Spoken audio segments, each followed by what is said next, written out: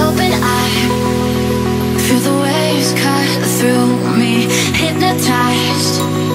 by the sounds I'm breathing